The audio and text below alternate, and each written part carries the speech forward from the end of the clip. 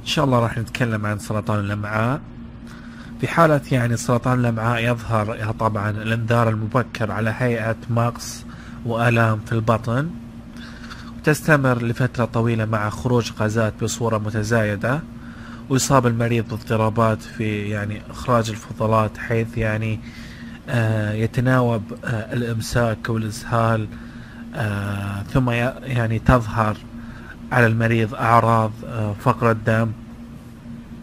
أيضا بسبب النزيف الدموي المستمر من الأورام السرطانية نتيجة يعني للحركة آه المعوية أو الحركة آه المعدية إذا كان السرطان موجود في المعدة أو السرطان موجود في الأمعاء الدقيقة تسبب نزيف حاد جدا في منطقة الانتفاخ الورمي.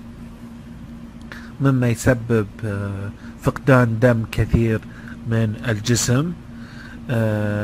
مما يسبب أيضا قلة في الشهية وأيضا ممكن يصاب الشخص بالأنيميا بسبب فقدان الدم المستمر. وننصح المريض مباشرة باستشارة الطبيب وفحص المنطقة عن طريق الفحص.